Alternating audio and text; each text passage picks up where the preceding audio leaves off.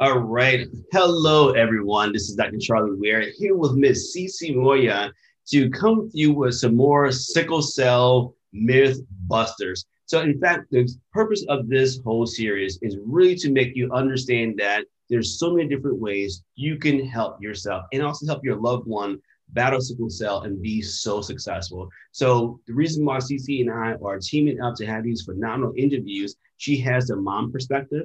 I have the um, doctor perspective as well as a patient, and also uh, CiCi um, has a trait and also suffer some different things as well. So we have both sides of as being a caregiver, a practitioner, as well as patients ourselves. So we want to make sure that we're able to reach you guys with the information that's important to you and only for you. So, guys, let's jump into it. CiCi, how are we doing today?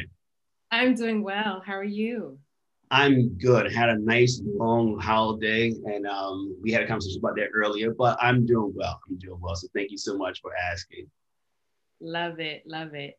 Yeah, we can jump right in. I have a list of questions that some of our followers and fellow moms and dads who have children with sickle cell and themselves have sickle cell too. And um, some of the, you know, really pressing questions that almost everybody has is uh, how to raise hemoglobin levels. When you go to the doctors and they take your, your blood and they want to know, you know, what you've been doing to keep it up. Um, if you're not, especially if you're not taking hydroxyurea or other um, you know, pharmaceutical drugs, how do you raise your hemoglobin or keep them at a good level? Yeah, great. That's a great question. And, you know, I, I, I love when we are able to answer these questions that people are asking. So let me go and jump into it. There are several reasons why hemoglobin levels are lower. It's not just, okay, you have sickle cell disease and it's going to be low. So let's just take it off the table, right? Because, um, you know, I was talking to some patients yesterday and they have SS sickle cell um, and their hemoglobin level is always over a 10 you know and they are just doing all the right things but let me give you a few reasons why it may be low and then i answer the question on how to even increase it so one reason why it may be low one as i always say you may be malnutrient you're not eating the proper diet to allow your body to have all the nutrients that is going to allow the body to, to pr- produce the hemoglobin on a, on a higher level. Um, the body needs certain minerals. You know, yes, we need the calcium, magnesium, but we also need like phosphorus, we need know, manganese and, and, and, selenium, zinc, all these things that actually help the hemoglobin, you know, really build up to, to be the best it can, as well as, as well as essential fatty acids that actually help the, the, the shape of the hemoglobin to actually maintain itself as well. So yes, the, the hemp oils, the coconut oils, the palm oils, all these great oils that the body needs to actually help to maintain the, the actual circular or, or, or spherical aspect of the actual cell. And then it may be in a situation where your body's not able to even hold on to it. And that's a different component First is making it and also hold on to it. The holding on to it aspect can be a late infection you may be having.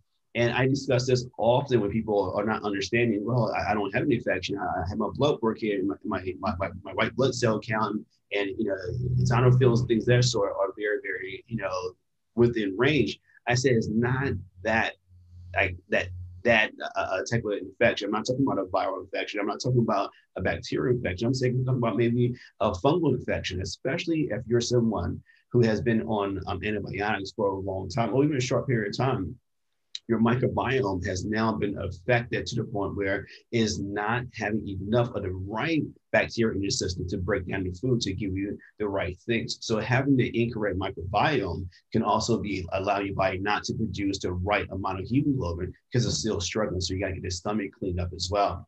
So another thing is I have a lot of infections uh, as far as like latent sinus infections or women may also be having some latent um, UTIs. You know, after you have sex or before or after you appear, you may have a small UTI or a yeast infection here and there. Those are different signs that says that the body doesn't have the right microbiome to hold on to nutrients efficiently. So now you're creating a bad bacteria that can cause different issues as well. Sleep let's go ahead and jump into sleep really quick. Sleep can be one of the reasons why your body's not resting well enough to even allow your body to repair, to now do the job of now creating and restructuring the body to be more efficiently um, as well. Um, and actually, I'm sorry, I'm jumping back into the, the infections. There's an infection. There's several infections that actually, if you get them, they actually do reduce the actual hemoglobin level. The, the, the parvovirus is one of the viruses that, you know, the definition of it is when you get it, you're gonna have a cold-like symptoms like, you know, cough, sneezing, things of that sort. Uh, maybe feel run down for a day or two, but the telltale sign of it is the fact that it actually lowers the hemoglobin level. Um, and this is in the, the normal um, individuals as well. Uh, so it's, it's, different ways of actually looking at the reason why you may actually have a, a lower um, hemoglobin rate. Now, how can we now improve these things? First, as I just, just mentioned, we first are going to look at the fact that let's improve your microbiome. It's not just probiotics, guys. You got to also make sure you're eating the proper diet of prebiotics, which is, you know, a, a fibrous food, fruits and veggies um, you're not doing things because uh, uh, again a report came out just uh, three weeks ago showing that how a lot of these dyes and preservatives inside of our food is really affecting our microbiome and also decreasing the rate of our hemoglobin levels and also hormonal production as well cut out the processed foods. Two, the second thing you want to do is actually look at, you know, is it possible that you may have a latent infection somewhere, maybe due to the microbiome or something that wasn't taken care of. So yeah, you, you might want to contact your doctor, see if you have a sinus infection, yeast infection, things of that sort. It's very, very easy to do. Or just take different herbs that are great for antibiotics. So uh, our MalCare, our Vi-Rid, um, you can take olive leaf, you can take golden seal, you can take um, something that I actually tell patients to take for a long period of time is actually colloidal silver. I didn't tell them to take that because it's called colloidal silver. Colloidal silver. Yeah, it's something that, you know, it's very, very good for, you know, um, infections all over the body. Um, it, it, deals with fungal infections, viral, and also bacterial infections as well. So that's those. And every day, long term, safely. Yes, definitely, yeah. definitely. Um, and, and you don't want to OD over it. The only issue with colloidal silver, if you take too much of it, your skin might turn blue. blue. Yeah, yeah. And I have seen some people like hands and feet turn blue. I was like, oh, you're taking way too much of it, so back off of it. So, um, and then the other thing, of course, you want to make sure that you're getting all the nutrients. If you're not having the proper nutrition, you're going to look at what you're eating. You're going to also want to take things that are very nutrient dense. So focus on veggie, fruits, and also proteins. Make sure you have a balanced diet with that. If you can have some sort of starch, like a, a rice, make sure you soak the rice overnight or soak your oatmeal overnight. And basically soak all your grains and beans and legumes overnight to make sure you're getting all of the nutrients that you can out of it by taking away all the phytic acids and things of that sort. You cut Sorry, out. What, what does that do when you soak it overnight? Hmm? What does that do when you soak it overnight? So when you soak things overnight, one, you're allowing to sprout, you allow them to actually rehydrate itself efficiently. So you allow all of the nutrients to be sort of fresh. But also inside of a lot of the hulls of these things, um, something called phytic acid that actually, um, if you eat or drink too much of it, it can actually take a lot of your, your trace mineral um, uptake away. It'll make you, um, you're deficient inside of it. So the phytic acid. But in, all, in order to unlock the, the full potential of any sort of grain, you should soak it overnight. Yeah. Um, and then, you know, uh, um, uh, again, like I said, soak the grains overnight. Make sure you're eating enough fruits and veggies, and then, and not just juicing them, and not just um, having them in smoothies. And those things are great, great ways to, to make it quick and easy. But by eating the fruit, you're also having the fiber. You know, when you actually have a smoothie and have a centrifuge, you actually are breaking up some of those enzymes inside um, that fruit or, or that veggie that can be vital so you can also be doing damage to it. That's why I tell people eat more than than drink. Okay, eat your fruits and veggies more than drink them. Juices, I love over smoothies any day of the week anyway. And then lastly, how are you going to supplement yourself? How are you going to make sure that you're going to supplement yourself and be efficient about it? First, as I said before, make sure you're taking uh, uh things that are have a an action of being anti-inflammatory and also a slight antibiotic. And when I say antibiotic, I'm not saying you know, just antibiotics, antiviral, uh, antifungal, and also um, uh, antibiotic as well.